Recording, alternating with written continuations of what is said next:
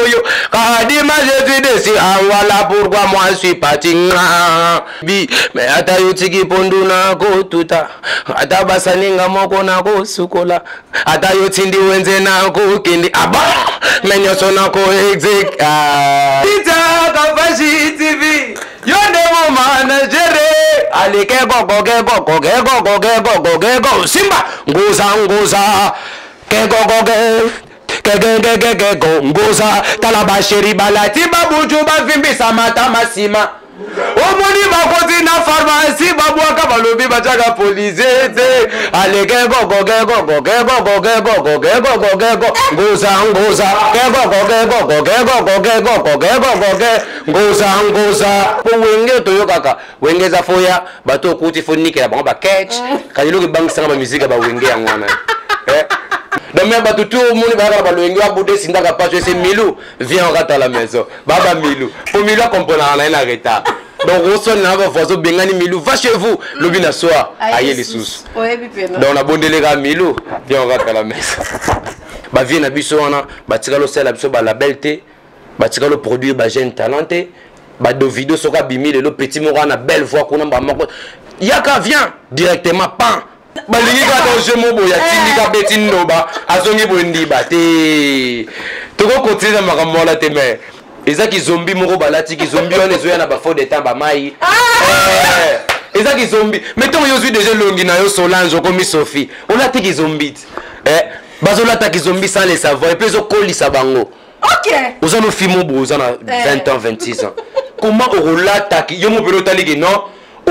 qui zombie première couche deuxième couche Dans son bisous tâche Voulez-vous une excellente décoration de vos événements avec un service expérimenté Ne cherchez plus. Bernice Décor Events est là. Nous imaginons, concevons et réalisons pour chacun de vos événements une décoration éphémère, sur mesure et personnalisable. Faites-nous confiance, nous sommes là pour faire de votre rêve une réalité.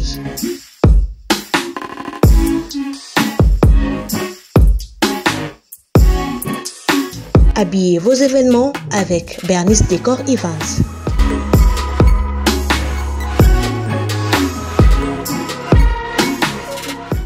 Brico Fashion, boutique en ligne des vêtements et accessoires en pagne. Brico Fashion Créez des pièces à la fois chic et uniques, toujours au plus près des tendances. T-shirt en pagne, sac personnalisé, jeans avec pagne, bombers pour cérémonie, chapeaux, sandales, nœuds, colliers et autres accessoires, chaque modèle est confectionné avec soin pour un résultat original. Envie d'ajouter une touche de pagne à votre intérieur Notre sélection de créations unique rehaussera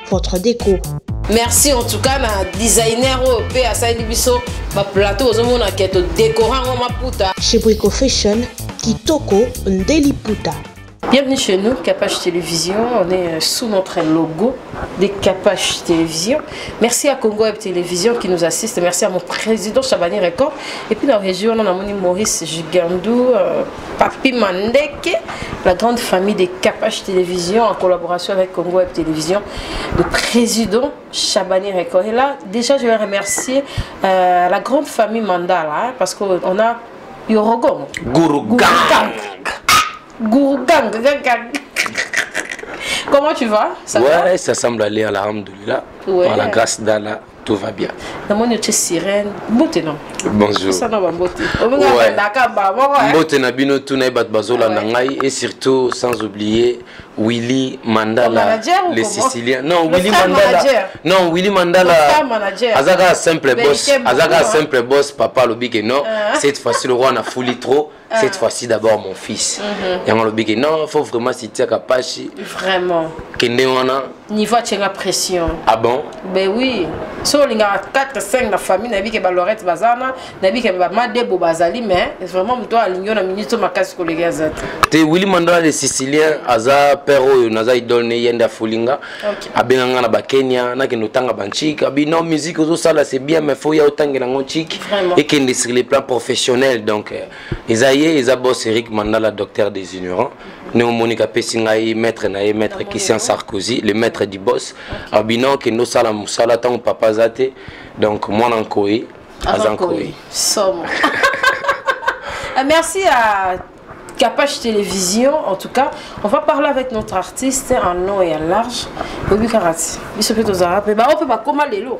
tobanda na bango mpe boye kobanga no te te ya kobanga ya te eh, merci à willy mondala sicilien ferme la semence surtout likambo ya ferme la semence mama moni neti na confinement onzala eyali te yo fo ah sitiaka mpasi yo oyeba te yo oza obelati yo oza likolo donc ferme la semence félicitations à vie, à, à, au vieux willy mandala parce que bato vraiment bazolia ferme wana eza na banorme internationale bazolona na ndenge esengeli kolona omoni ke bazobokola banyama oyo bazali bio donc okokende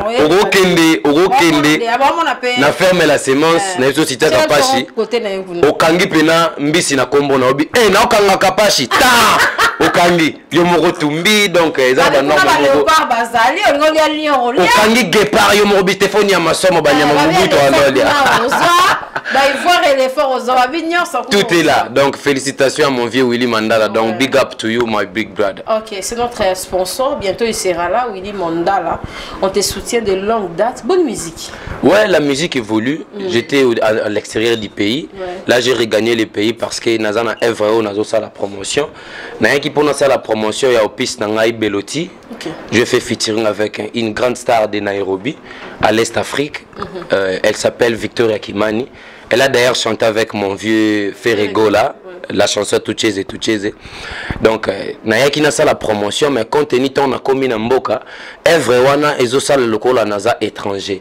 donc ntango na largue yango na population kinoise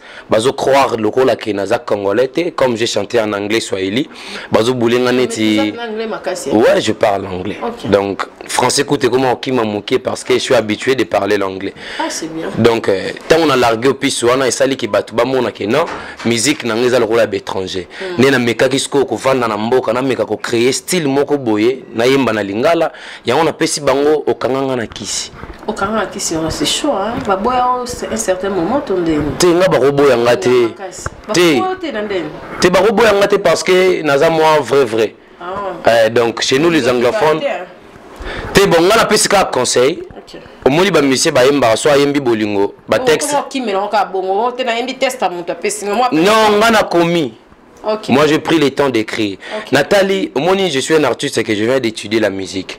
Nathalie, ba texte, ba musicien, ba okoma. So ba embeli mwana mwasi yo kaka mwana mwasi azolela mobali ou bien mobali azolela mwasi. Mm. J'ai fait une différence ya au créer texte eza mixte. Okay. Donc mwasi akoyembela ngo mobali, mobali ayembeli mwasi donc c'est ça la différence ya texte na nga mhm. parcours eh, outi wapi yo mobanda kaka yo moko te nabeta pa motu te na depuis carrière na nga nauta na palin mais ntango nazali na palin nabandaki kotala ve na nga macritanche bill clinton na tele aza idole oyo aimpressionnaki nga quand même pour ke nabanda kotala façon na ye ya musique e appréciaki e, e nga mm. nalanda mwa nzela wana mais natikala kobeta vraiment na orchestre motu te mm. ouais. depuis ah, depuis depuis ti lelo na forcé forcé donc naza na 11 ans d'expérience avec leadership il y a faux perso. faux perso, donc des faux perso. Il y a des gars terribles. Ok. Au plus exemple, à faire rigola, acoustique, acoustique, n'a mis balé à l'arrière. o apprécier en ndenge Euh, bon je sais pas si on a koloba vérité parce que naleki mpe na bémission misusu ntango nalobi vérité namoni ekrele yanga baproblème ah. mais mpo na vérité je suis musulman nakokosa public te mhm. acoustique ya ferre egola je sais pas oyo ya mibale peut-être non natali te mm. mais oyo ya liboso oyo atyaki micro oyo natalaki mm. oyo wana eza acoustique te mm. oyo wana eza il a chanté au studio asilisi na studio voilà donc acoustique eza genre ya musique omoni neti biso toza bajeune artiste faut baédike biso makambo oyo biso tokoremplacer bango sur le plan futur okay. donc quand on parle d'acoustique faut tomona ke oui c'est de l'acoustique donc oyo wana na ndenge nga nayebeli musique ezalaki acoustique te eza clip normal ayembi na studio et puis aye asali clip c'est appréciable c'est appréciable c'est un grand chanteur il a bien chanté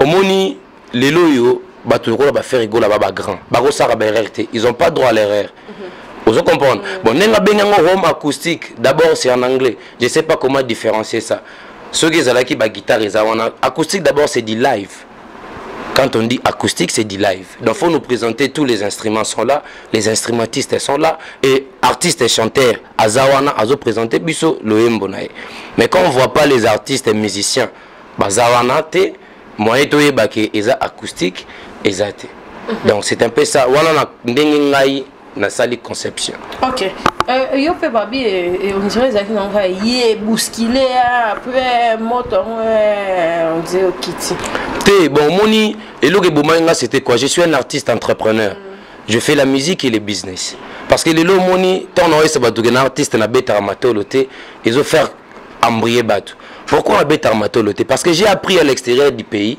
baartiste lokola badovido bademon sont des artistes entrepreneurs lelo oyo nakopesa exemple ya entreprenariat nini nazosala j'ai déjà no na recruté mm. exemple nakozwa fond na ngai naa nango peut-être 2 dollars ou 3 dollars nasali cabine téléphonique nasombeli bango bacrédit baza wana bamosusu peut-être na ngaba bamosusu na lemba ndenge na ferme na semence eza wana nakozala nazwaka ngulu kuna nazwaka bapetit batumbelaka nga bantaba bangulu na bacoin chaque soir nakendaka nazo récolte bala mhm. naovimbisa poche ezoyede ngai na propulse musique Il y avait un moment, na se donnaki trop na business et ça là qui est na laissé faire la musique. OK.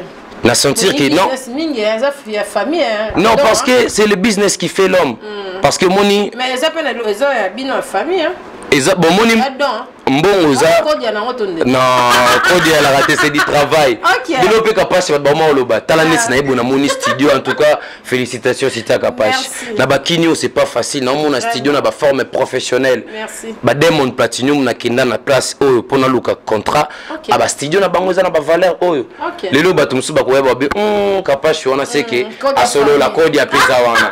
Ozo comprendre mais ça travail. Ouais. Pona ngana ko loba que non ressources ya kozala mutu eza justement travail donc nga nalingaka mingi kotravaille ah merci nga naling voi mpe octave ah, nga nalingaka mingi kotravaille mpo ah. ntango na otravaille récolte wana nde esala nga ke na propulse mm. eza mpena kokita te bon na accepte nde bato tu balobi kokita mais cette fois ci en tout cas moto abimisa te mm. bato tu na nozela kutu bato babimisa badiske mais ntango natali na biya ngai nabangi te te nabangi te bona obanga ndeni ngai naobimisa lelo ah, moteke na te naobimisa lelo te ah, moteke naobimisa lelo ah, non alo telefone alo telefone ya vie na nga fali eh, pupa ça va ça va tant que fali pupa mais non tobosanaka mpe culture na biso te mm. on vient de ndombolo te omoni omoni lelo musique to faire comprendre bato na deux sens ouais. ba 4 minutes ba 3 minutes oui c'est bien mm. sur le plan professionnel mm. mais ba 8 minutes na biso wana mpe biso tolingaka so tomati na piste na feti il faut tobina mais mais abungisa biso yango déjà bon nazo expliquer allo téléphone mm. allo téléphone oyo eza nango savame eza evre ove fali asali na ame na ye te banoko bana mikili boyebi ntango bana mikili banoko fo bazonga na bakar ah, ah, ah, banoko fo babeta matolo donc il a fait ça pour ses artistes donc asali donc eza damas moko boye omoni mpo fali aza cuisine oyo na minute oso obi alambela biso ngombe tokolya ngombe mm. mais wana atali azwi kaka mwa legume vermo non aza na derrière bato basima na ye akoka mpe kofanda pendant 6 ans azela mais ntango azozela biloko ya moto te mpo bato kaka balia mibeli bien te te bon fali lelo tokoma kokonte na biso bamusike ya bavieux boso babeti bavieux bato balobaka toloba ndika nene ozomona sikoyo mais mpo na nga eh, te na, na niveau ya fali pupa mm.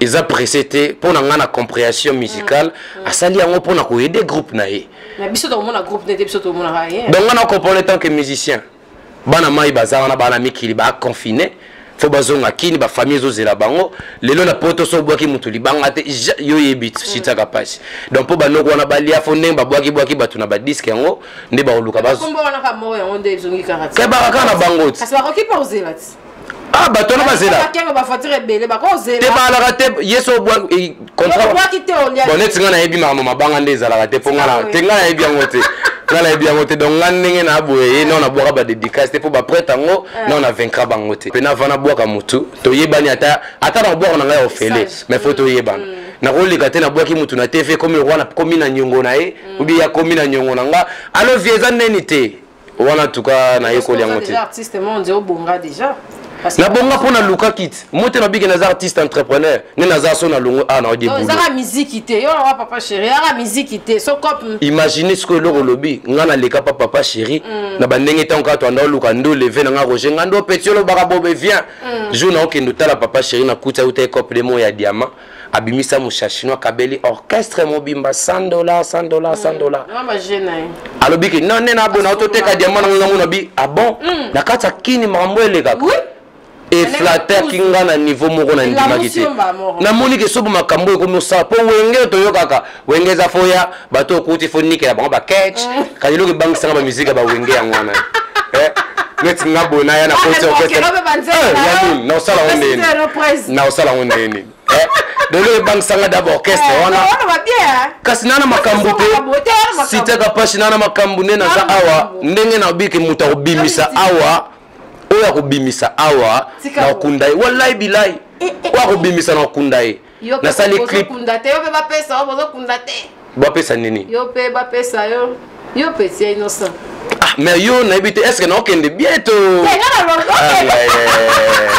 ok bien na mera bi yo pe ba kunda o teti sikoyo temenga na yo ko kunda te na yango pe na kunda tout ba bossa na musique toi Congo ba ba kota na lovely song tika boye bato bakokosinterne na lovely song omoni bato babinibini trop basote trop mm. omoni mm. température fraîcheur obimisa mm. na feti yalaka soki otoki omonuka batyelo ata mwa rumba moko bavia kala mposa nini odose soki ngai nayeli bango dosing donc antidoxe ye oyo obikisa bato na corona oyo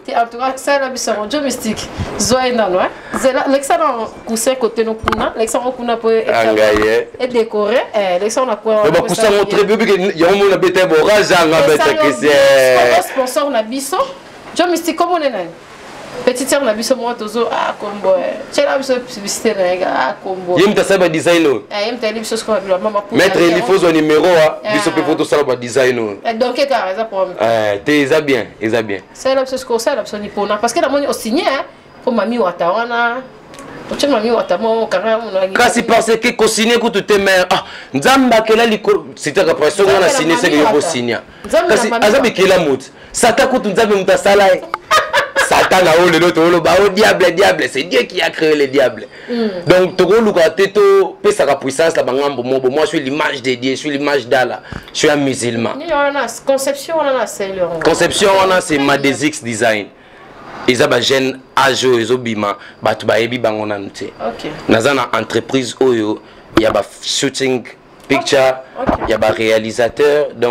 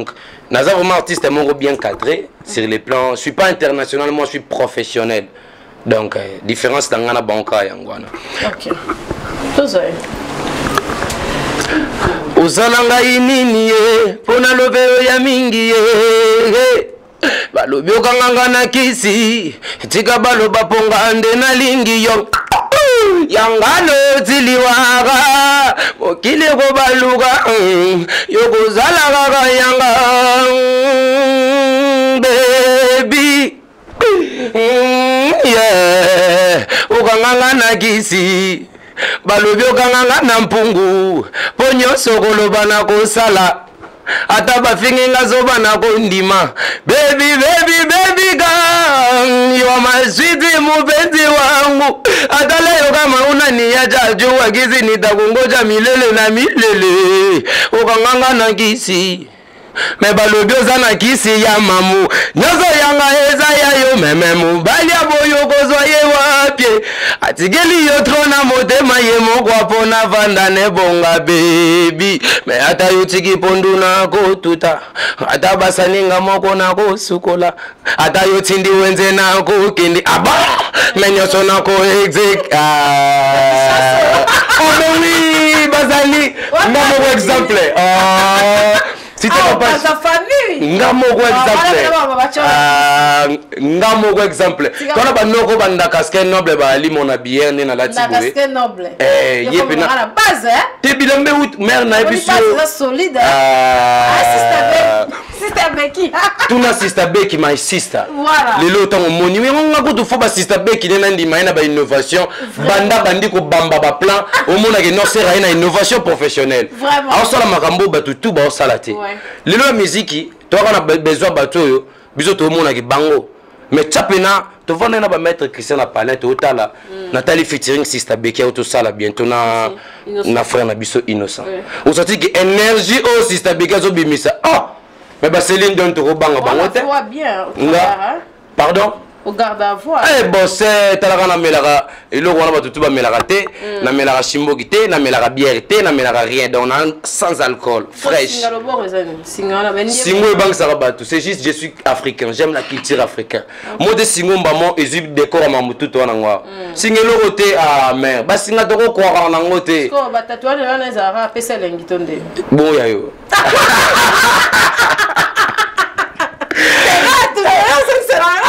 oyebike sitaka pasi ya ngai eh. te batatuage batatuage na basignification te nga bakomba mwana te tokosaka te ngai tatouage eza na signification parce que eza ah. temple na ngai corps na ngai eza temple na ngai parce que voix na ngai evandi na corps batatouage na ngai na basignification oyo eza croix en anglais c'est cross die donc quand tu vois la croix eza signe ya kufa mpe ya libiki oyo tomonaka na église batiaka croix na pharmacie batiaka croix na cimetière toke kuta croix siko croix ezalaka signification ya liwa to ya libiki ça reste à vérifier nga sikoyo nakufaka te hmm. naza immortel yango omoni awa ah, nakomi kafuaku je meurs jamais kafua ko eza na kikongo parce que naza artiste ya bakoko je crois aussi ya mvuluzi kimbangu mhm. awa likolo nakomi i was born in africa me love africa i'm proud to be black donc je suis fier d'être noir nde omoni lelo babomaboma baflaude na baamérique kuna mm. si j'étais en europe na ngai naza parmi bato bapolisi wana balingai babare mpo mm. eh, na ngai naosine bango scandalement parce que bakosama baosala te nous les africains si le monde évolue aujourd'hui c'est l'afrique l'afrique c'est le berceau de l'humanité te baprocès 100 jour tokobeta ko lisolo na yango tomoni bana semi babeta na bango mitendo madame ozo comprendre donc totika bana babeta ba playstation parce que procès bande bande bande liti suka mm. ekomi lokwa théâtre muyombe gauche donc tolembi épisode eh? tozudukaka boyo bakondanaki yo baliberaki yo eh. mais tozo comprendre te problème yango eza nini bayibi nini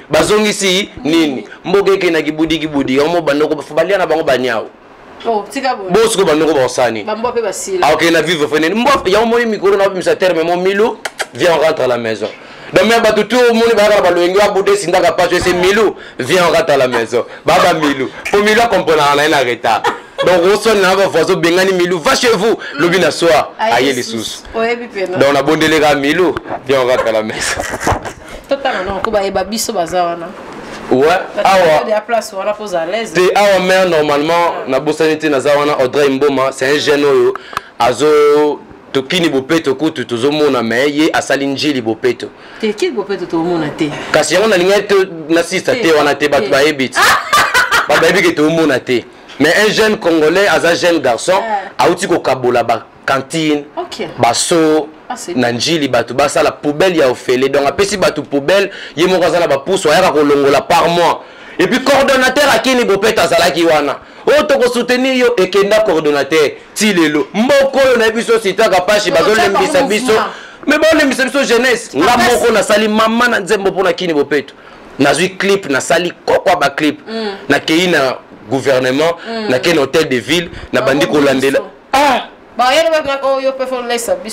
kolesa kutu na bino olesa bango opesa nini eh, état de besoin napesi état de besoin mare na niveau na nga bokoma kobenga nga na bureau bovandisi nga na bureau depuis 7 heures ti eh, 16 heures natali sikoyo na bino boza baincompétent yango moni mboko ezo marche te mpo tout le monde oyo baza wana ce sont des compétents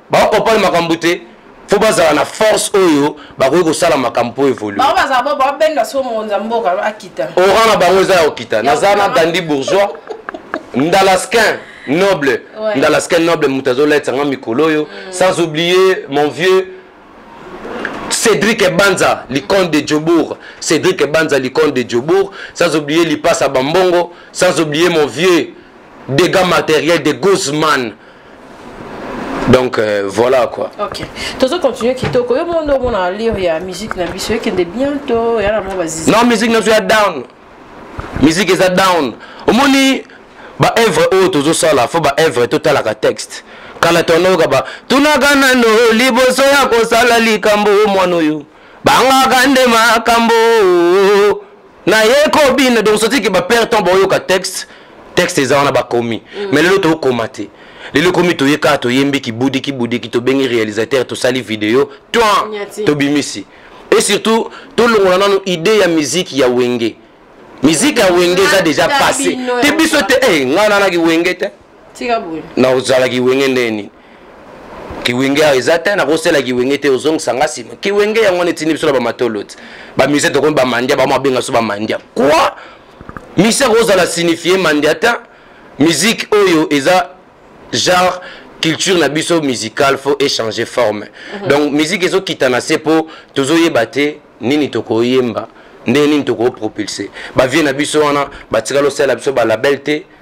batikali oproduire bajeune talent te badovido soki abimi lelo petit moko na belle voix kuna bamoko yaka vient directement pan bapesi ye makambo abimi bakorenado wana bamasa wana badorobuci ta nde bafulafula ozomona me biso awa so bamoni kaka ndenge sista beke azopela omona bake na chaine wana bozotya ye tro boye ndenge nini botyaka ye te ah mare na ngai mare na nga 11 balingi kaka doge mo boye atindika eh. beti ndoba azongi boye ndiba te tokokontinue na makambo wana te mare yango ezoboma musique congolaise musique il faut changer hmm. tokozala kaka na bafali te bafere te non faut botala mpe jeune age parce que hmm. biso toana nouveau énergie toana nouveau vent toana tete oyo ezosala nano ton esprit de créativité ntango mm. bino botala kaka bavie wana bango si balembi surtout succès faire fatigaka motu omona ye bino edeyaki anga ah, na ngai akokende kaka abeti na eloko abimisi nayebi ke non eyokanga nango mais biso toana na baénergie ya kotravaille ngo te mare oyebisi ngai na travaillaka parce que oh, okuna abimisi voi na ngai te nana octave so nabwaki artiste elem ah, ngai tuwa balo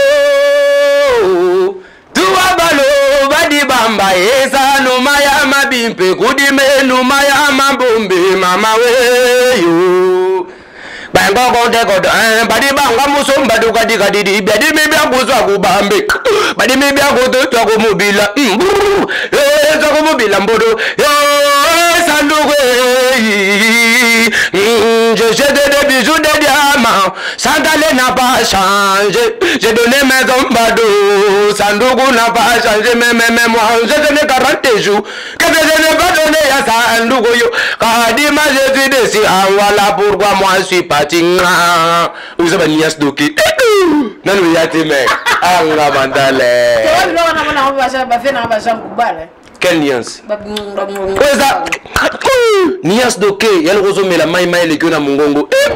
ozo kopone me bango nanu baya na makambo oyo te me makambo eza wa solo te na na groupe na faire voyage orchestre trois fois na nairobi oh, natiki bamusicien parce que nga so na voyage na orchestre nazongaka na bango te bakimaka te napesaka bango accès Mm-hmm. soso ndenge eza wana so aboti bwana batamboli 3 jours 4 jours 5e jour chacun pour soi mai nakokanga bango te toujours parce que na kini toza na bango combien so nakangi bango na na bamisien bao évolue na badubai na bacanada nga kuna nakenda canada te mai na bamisien bajui bascience baa na bacanada oui parce que ya ya kozala na basponsor to bamoko na mike mike bave bamitema mabe voyage eza facile mais okozwa mission au meme bango omemi bango goma goma bozwi bis bokoti uganda uganda kenya tanzanie afrique du sud nzela makolo baosala yango te bana besoin kutomona bato wana te so omoni kaka culture wana bamoni okomi ba balinga koye oza na bamayanzi babandi kolongolo bamayanzi ke oye mpena noko ndenge kuruganga ye boye osati memenete sozokwanga monsuka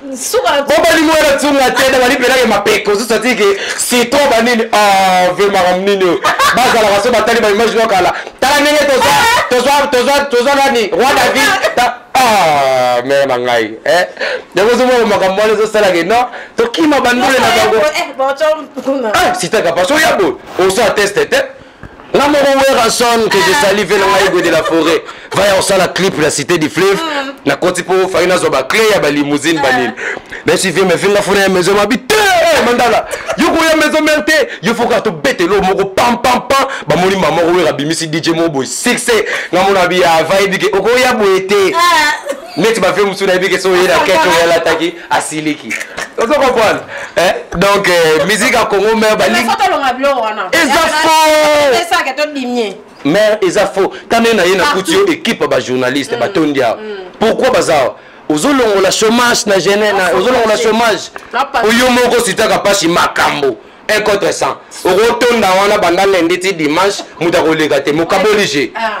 oyo azwi poste oyo oyo azwi poste c'est comme ça mais bave balingi genre wana neti likolo ve na biso kofi olomide akomoluka poste na gouvernement mm. nga nasepeli na nga kutu ozomona mele tala neti na bagouvernement na biso toza ta na artiste moko musicien te aleka mais musique eoevolue nini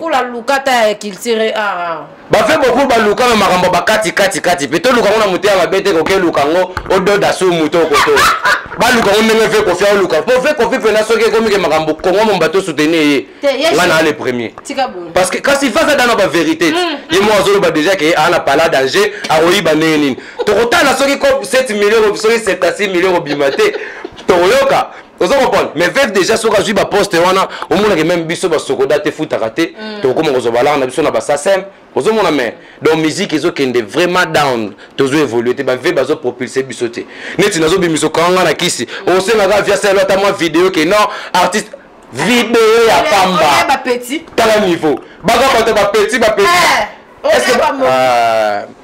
yango wana soki ezoboma je pe lope boye bomona bino eza pe base sentir eh ogangi yo te kapashi wana te ntango yopo oyoka bongo omitiki ka mosika kuna te mer ngai talaka nga monaka manager nga monaka directeur nga biro ezalaka nano 10 pourcent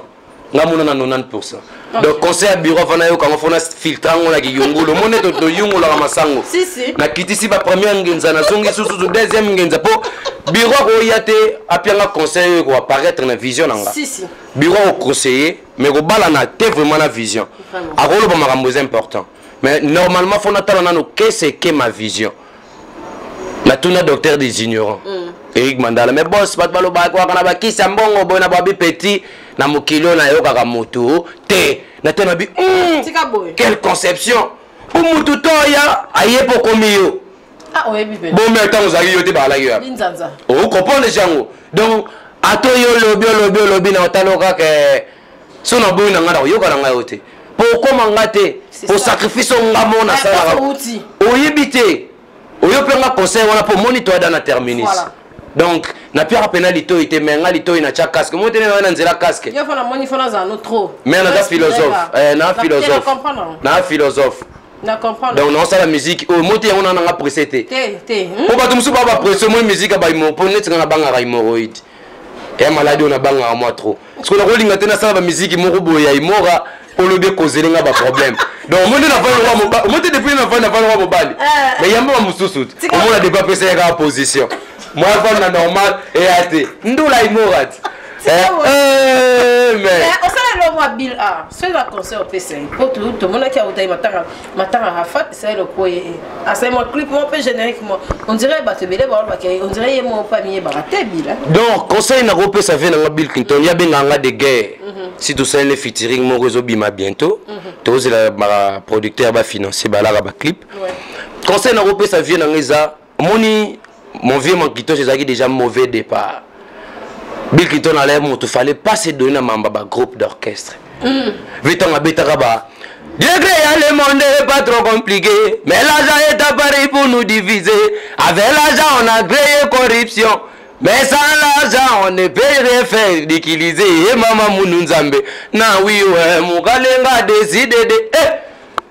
mama nakopa batexte magenda oh, vote esinga donc va azalaki na banzela moko boye falaka akenda ne kaka na balinema bamoko moko moko me ntango aye ko baiser orchestre asangisi makambo wana charge wana mm. parce que bamisi akini bayaka te mpo asoutenir idée na yo ayeli yo bapasi na ye kevi ngana na 4 enfants ngana na de bana ve mpo nafuta palais ah nga nazosala vision mpo namema bino tolongwa place toza tokende yango esalaki déjà vie kilo mhm. sikoyo lelo mpo ve azonga na ye mpo bill clinton aza na énergie moko mare na travaillaki na vie na banga na banga donc vie mpo azonga na place oyo azalaki c'est juste quoi azongisela biso kaka baœuvre oyo omoni mpo aza na texte na motu azongisela biso kaka bainspiration na biso oyo wana okay. Vous me reverrez dans quelques jours. Ne pleurez pas, je vais revenir, mais c'est par bateau que je vais naviguer. C'est dans les trains que je vais trenga engai makitosh. Donc merci à son biso ka ba texte wana. Mm. Esili nango. Akiteni makambo ba rumba tika kutu kotala ba fere ye azonga Bill Clinton. Donc alatela biso pena moni ndenge euh John na boxer.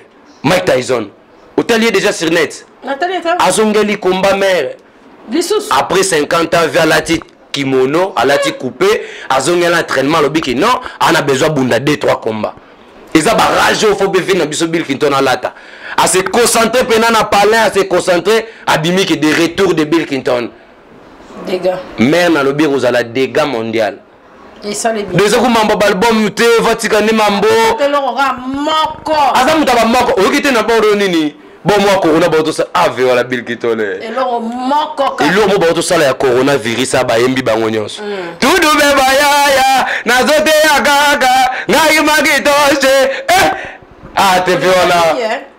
aza michael jackson mpo na vie na ngai me animateur okola bill clinton na monde entier-ezalaka ba mauvais conseil parce que fallait pas asala ba tour de stade wana ah. ozo comprendre me mm. fallait pas biloko ebele na musique fallait pas soki kaka soki kaka ah. asalelaki biso makambo sirpa epuis moto akompagnaki ye wana bazali na nani jeune wana nani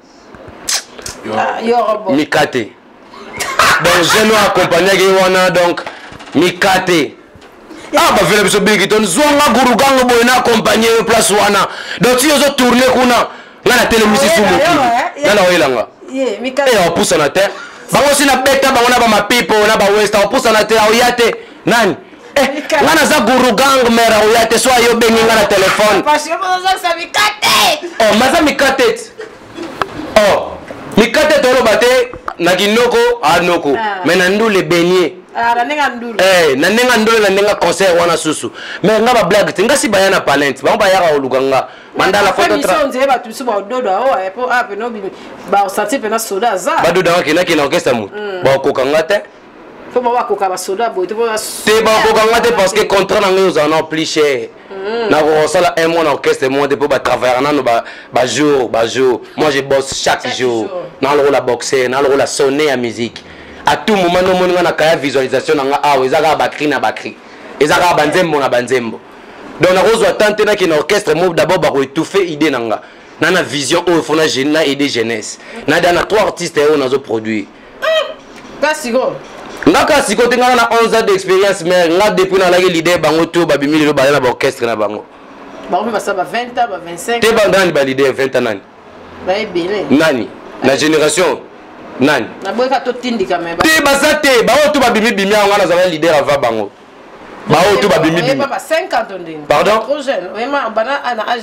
nga na banda depuis ya france nabandi kobeta musike na na baaja ba 9 ans kobima boye mpenza nalata makambo boye 2009 na bandi kota soke sur youtube google tala baevre na nga eh, beta mandala guru sur instagram ah. twitter clike mandala guru gang omona baevre guru gang eza molimo mona azalaka na ye aza ngai ya mibale omata moto aya eh, bagugugange wana te nalingaka yango kuku te nabanga yango mm. surtout na liwa rafa to donc mm. epesanga force mm. nga moto te nga gurgang eza esprit oyo natambolaka na ye eza deuxième esprit na nga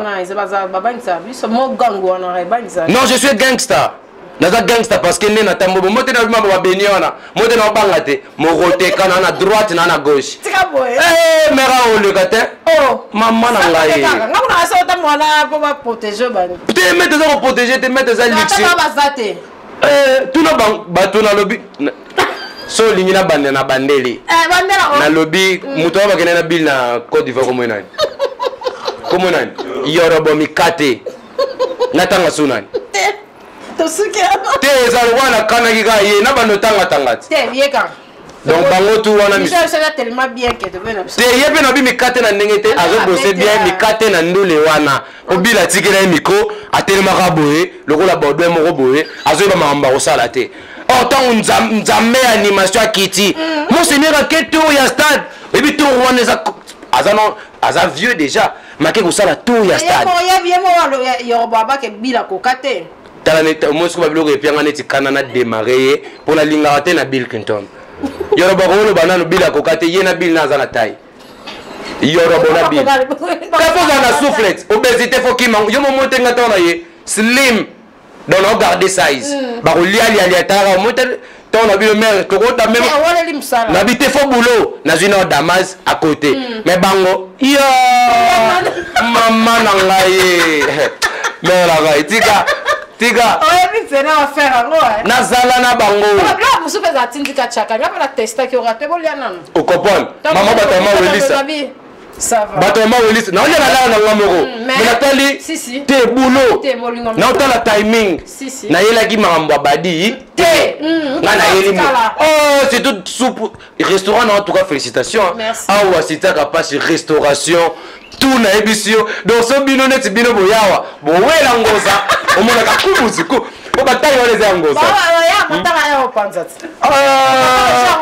leo na ngai me biso satike na bato ya baminene batolo me te me bana eloko bakosala te bayebi ke wana gurugang bana eloko moko bakosala te babanda wapi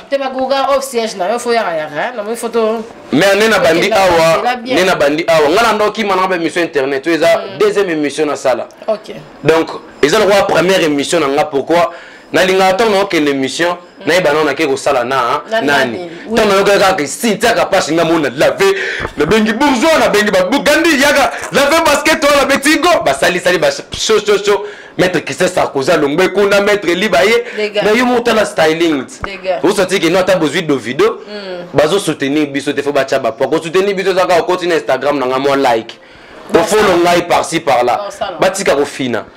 biso towana énergie ya opposant neti inos bino nga okende opposant te congo ouais. c'est une plaisir mais mabe moko su na ye inos bi mm. nalandi so émission moko bo azofina ne trohe yango o oh, biso batrohe wana ozomona ezolembisa na biso bato tozosoutenir ah, ye fo apesa yango valeur faut pas kominimiser donc eza conseil na profite kopesa su masa na nga inos bi succès basalaka nango baaventure te mm. succès eza lokola mwana owuti mokie ongulumi otamboli ndenge banda ekobondela ntango ozalaki onguluma baobondela yo te ndenge ntango otamboli donc profite na ndenge ozonguluma po ntango okotambola ah. e ozala toke simba moto bayebi kesi otambola oyebi moto bakotika osimba avalorisele biso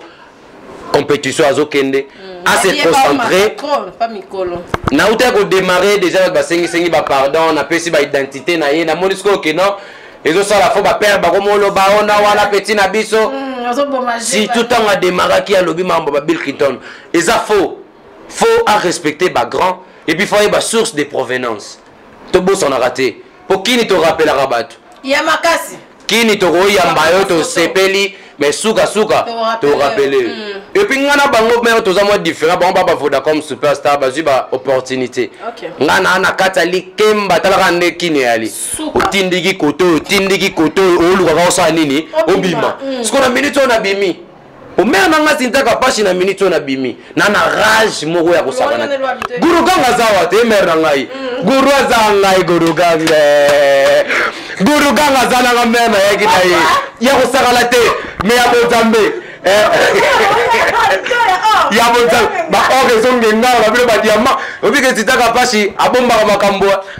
parking eza oyo osati eloko etelemi nga mona ye na infiniti me mm. na ningani ozo comprendre donc mare ngai nazo force na niveau moko ya kimobali te se esimbi me disco na obimisaka sai non clip na dépense koleka baclip to natali baclip nando banga nando zela mpo towana king mm, mm, king ya mboka fali epopa dicaprio ya yambo ya miziki ya mboka na ndo ozele ntango namoni kaka bia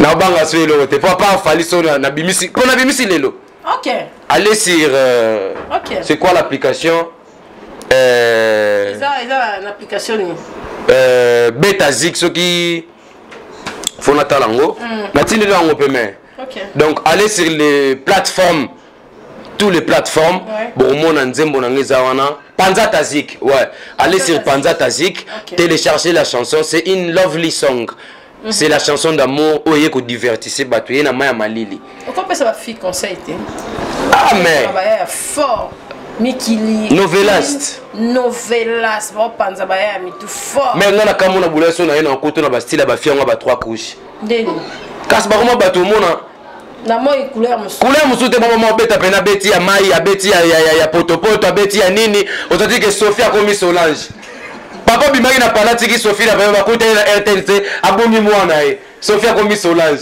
doseti pena mais mere nakuti naturalité matambo ezokota mais chaleur eh, mere na sentir yo kingo eh. mwambe lokola mposo oyebi mposo eti likokolo eh. donc oza na bakingo mwambe wa matambo ezokota donc okoka nzambe mpe asala bato mosusu azalaki bizi mm. fatigue atali kaka solange apie kutu mokongo papapapapapa nzambe asali yo sikoyo eza mpe foti na bango te omoni bakoma koluka barensemble babakisa babota mokili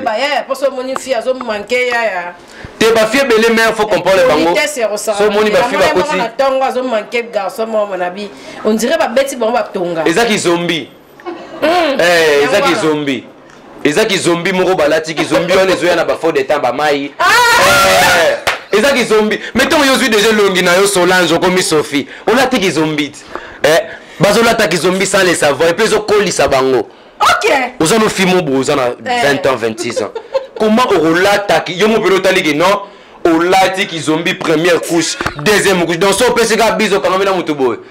tache yo mbota corona bacorona oyo ezaka bien tosukolaka kaka ah, boye tosukolaka boye mai mpo soki ayeka apesi yo nga atashe yo epuis bakoma basola bien te depuis bachinois baya bakoma kaka koti vite fait toi toi azwi eloko wana bakoma bapompe wana ototike jeune fille impolitesse wana ezoya parce que hmm. bakoma okota bapharmacie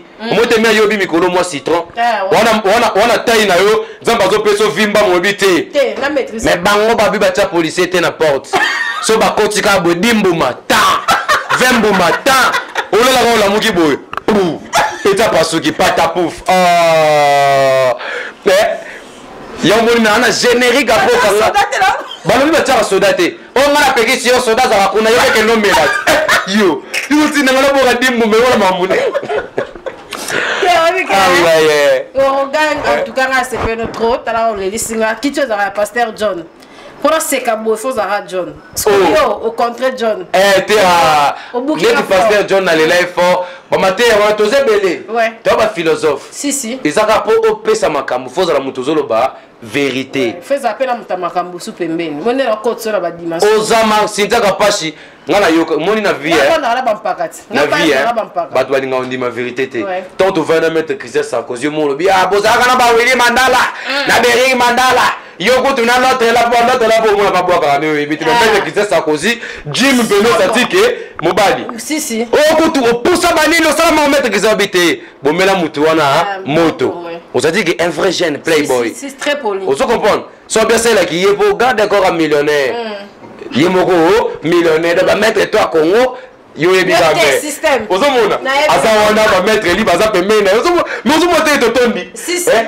mais asaleli politesse nga mpe nde naza awa ah, mais soki na bino bando démarre baartiste ya congo na kodémarre tout le monde bato tu bayaka na palais hmm. soki nakosala yango te mpo suiveni naza na famille oyo soki nasala yango ntina oyo babetaka nga fimbo Mm. Eh, bapena yo lelo obima tale kota na ndako bakotinga na pane me bamise mosusu depo abima libanda eh, nana opia etoli mm. ana tata mwasi abengo toi qu'est ce que tu fais là nani mm. me biso famille eza na mobimba bazokontrole yo ndenge nini ozotambola na nzela na yo avant na bima fo batuna okolata ndenge eh, nini soki nazwi bastinaka mpo na njilwa nalingaka mingi pena so nazwi baboti nango na te yo olika baboti nango na basataka njili wana longola omona na longoli donc osatike bazokontrole ngai ndenge mikolo na na staff na ngai eza na mikili rite madule mm. et puis tina please please beauté please please please bazo conseiller ngai mpo bango baza bato bana mwa mikili ngai nakenda poto te mais naokende po succès oyo naokoma nango mai naokende nango poto te nalinga yango nde te me namolinga yango nakoka yango te me nalamuka 5 heure kayo nakoka te te naokenda yango naokenda yango naoketala yango po kino alingaka bakisa soki ke kuna ozongi ya bamoni yo sikoyo ke savo naokenda yango naokenda yango eh. mpo natala mpe baconnexion mpo biti ya wardo apo inosa fo nabeta yango te obeta no nzembo na obibiso mpo mm. ah! ba un million de viol naospike bato ke so nakoki obeta yango na logique te na osomba yango kaba somba yango peti wana kata youtube oyebi teke basombaka mpe eh, donc so na beta donc bakita bamata okanganga na oblige okanga na kisi pourquoi okanga na kisi parce que omoni bamosolo tobeta mais babolingo ekoma mingi bapeti bamoke epa mamu ti mobali mona poto kaka na whatsapp mm. mamu abiyelanga kaka nimero nde na foto mm. omona bakepa maître isa golois maître akoti nango na temple temps mobala bato akoma zo nga na na bonzambe nde na boye isa golwa ntango na biso ayekaka kende kozala mpasi etiaka mpasi abi awa ndenge na ya na émission na bi tetetetetete te débloquer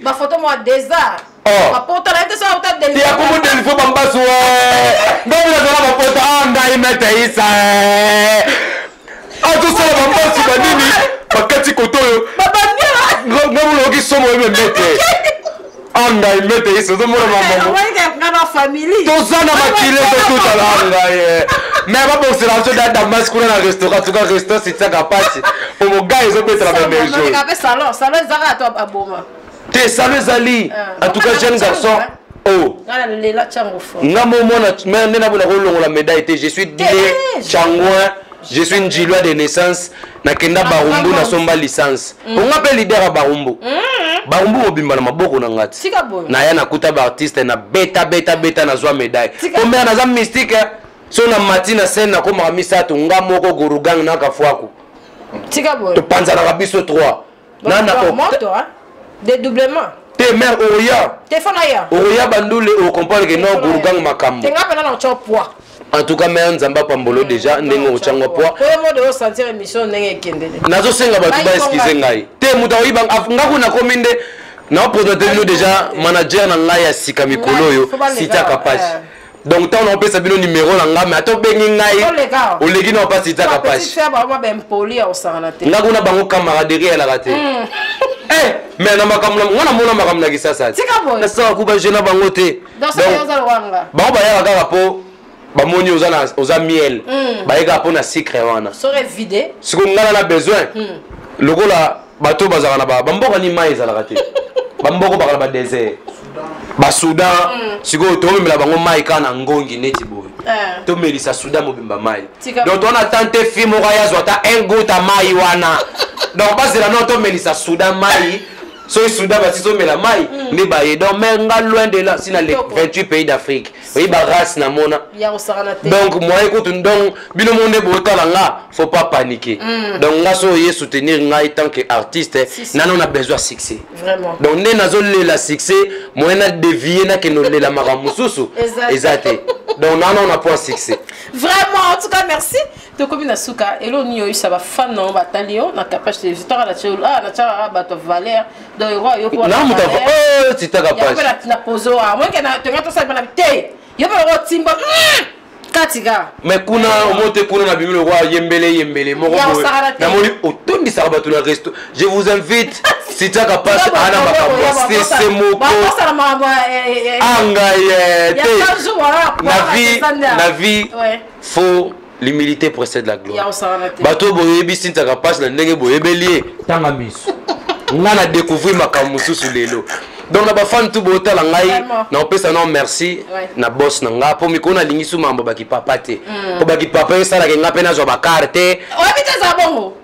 mare na nga ngai eza kaka te donc ozoka mwana biso donc na miso naza na nga so mwana ah, te merci à mon boss mm. willy mandala le sicilien ah. babi ferme na semence lesa mboka falon dokolo nzeba grand prêtre main napesi yo mbote esika bozali eric mandala docteur des ignorants mm. moto aleki bato ya mbongo nyonso après Fatshi notre président de la République na mboka oyo eza kaka Eric Mandala docteur des ignorants mm. donc soki otie tembe oza na moto ya mbongo aza na bafortune s'il vous plaît oyeli ngai ye napesi mbote na Arnaud Mandala mm. depuis Afrique du Sud papa na Marliane Farazona na bosani te naza bongo na maître Christian Sarkozy mondialiste maître akenda poto kotala mondial azonganga bi eh yo sikoyo neti lelo bozo bulu esili obeli liboma eh, oyo okomaki no deja na pote a ngai tikala seka ata boske bos merci mpo na vie tikala na fortune na yo meme tatala bi fortune oyo eza continuel hmm. lobi na okende boye na ozongisa boye jino masia le bos na lubumbashi le gouverneur de katanga sans oublier Trésor Mputu Mabi, Djogo ya mboka, Ndakaskin, mon habilleur. Merci beaucoup Gandhi Bourgeois, Audrey Mboma, John Adjo Chibambalo, Aston Tigo, wana tout ba bureau kaka mais okay. bata mbongo nanu ba été. Sénateur Paolo Tudilo eza le seul motu na komobwaka mikolo oyo asolaka bien wana mona biso mon sénateur okoki témoignage paolo artiste abeta mpe kuna mwa ngola ozonga mon sénateur paolo tudilu mm. et puis pedro banza na turquie bango baza bato babi nanga artiste eh. première fois na vie nazwa bamesene oyo baza en dehors de la famille babi nanga ke tokotya yo maboko bato mosusu baoyelanga songisongi o oh, me moto ya liboso nayoki eza sitiaka pashe olobi nini mpo na pedro banza epuis senateur paolo tudilu bato mon sénateur nandimeli sitiaka mpasi mpo manager na ngai nabosani te le grand réalisateur na omoni na santa babourgeois balobi muteba jo mystique hmm. aza na nkombo ya salako muteba ozomona cango cango nde esimbi kinshasa oyo me bato bazokomprendre te le grand réalisateur na lelio fort oza na beauté ntango ozosimba kamera na beauté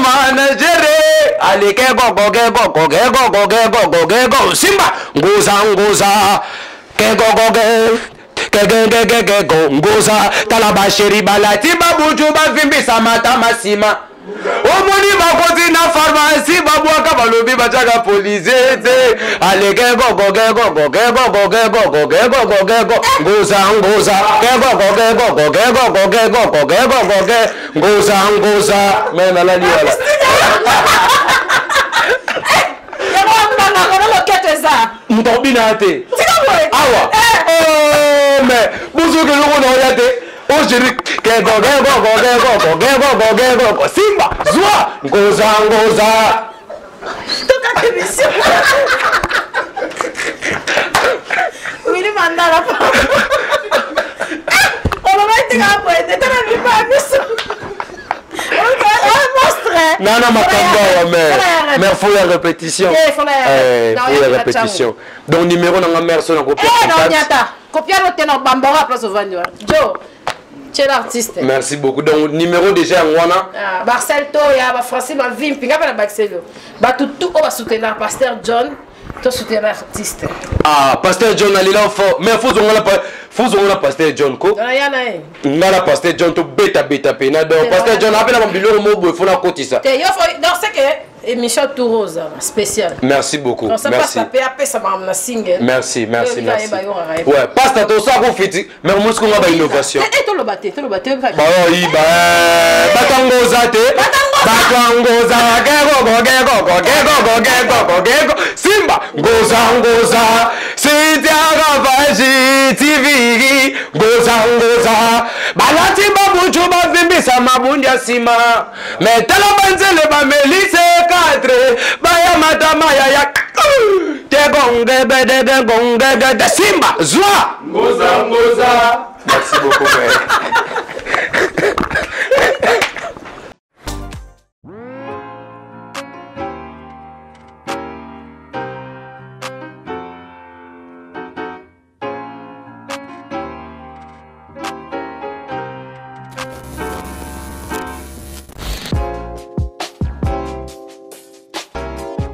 Parmi les produits Kitoko nous te proposons des lentilles journalières disponibles en différentes couleurs pour un regard inoubliable.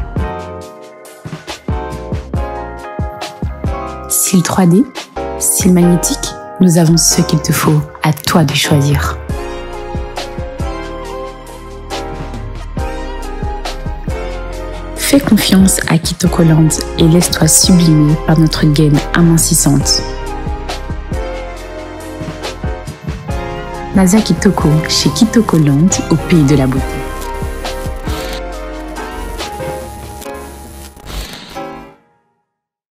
Fini le recrutement hors normes et insatisfaisant de vos prestataires de services.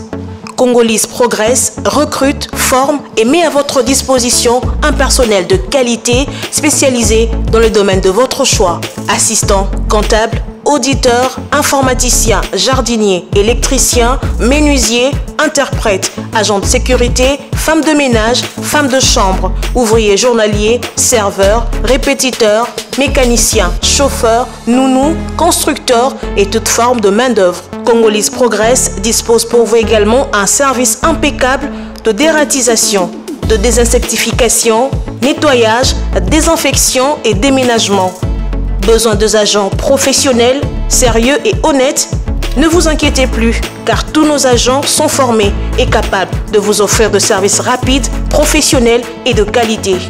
Nous sommes situés de l'avenue Colonel Loukoussa, dans la commune de la Gombe, référence Rampant Forestcom. Vous servir, c'est notre souci. Congolise progresse, le travail à votre portée. Capage TV